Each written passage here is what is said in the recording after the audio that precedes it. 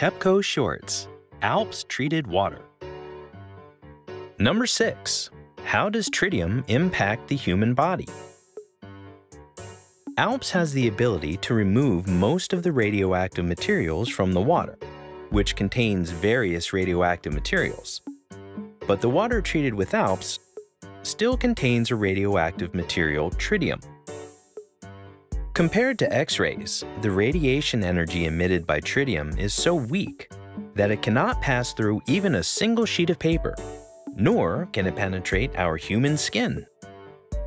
Tritium is found in our drinking water and food, and also it is always existing in our human body.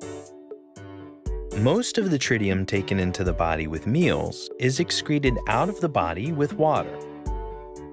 Although some of the tritium is bound with organic substances in the body, such as proteins, it is excreted out of the body over time.